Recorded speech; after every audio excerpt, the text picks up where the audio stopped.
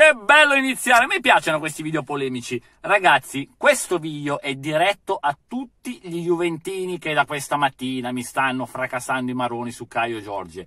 Perché? Ma io sono fatto così. So che con questo video scatenerò l'inferno, scatenerò il putiferio, una polemica incredibile, ma non me ne frega un cazzo, perché io sono fatto così, nessuno mi cambia, io le mie idee non, eh, sono coerenti, io continuo a pensarla eh, allo stesso modo. E adesso vi spiego il perché tre giorni fa, due giorni fa è uscito il video mio, come tanti migliaia di altri youtuber l'hanno fatto, della frenata Caio Giorgio e Juve, sappiamo che erano in discordia, chi diceva che scadeva nel 2023 il contratto, chi diceva che si poteva liberare subito. Io ho fatto il video dicendo clamorosa frenata, ma non è detto che la Juve non lo prende.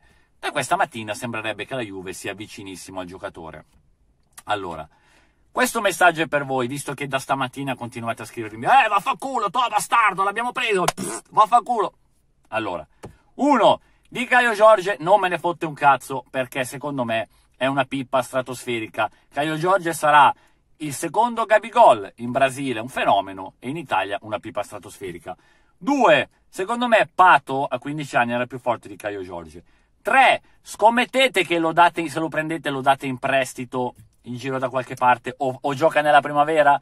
Volete scommettere? Volete scommettere? Con questo ho chiuso, ragazzi, perché da stamattina mi stanno massacrando. Eh, abbiamo preso, hai visto, soprattutto su Instagram, eh, hai detto ridevi, invece adesso... Non me ne frega un cazzo. Io non sono... Non è che mi sto preoccupando, mi sto sfasciando il cervello perché forse la Juve prende il giocatore. Secondo me sarà un altro Gabigol.